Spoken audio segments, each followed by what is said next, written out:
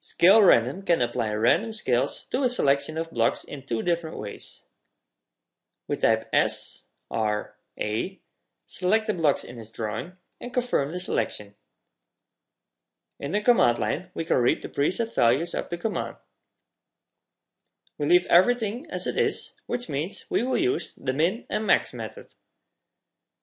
The circles in this drawing are a reference for the minimum and the maximum scale. When we hit enter, we see the blocks change scale. For every block, the command randomly picked a scale between the minimum and the maximum value. And as we can see, the blocks are bigger than the inner circles and smaller than the outer circles. We start the command again by typing S, R, A and select the blocks. In the main menu, we type a C for change, so we switch to the list method.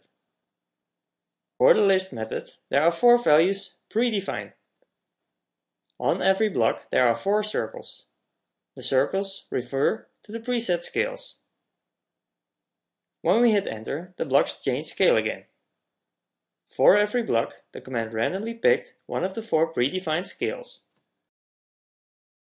Thanks for watching this tutorial.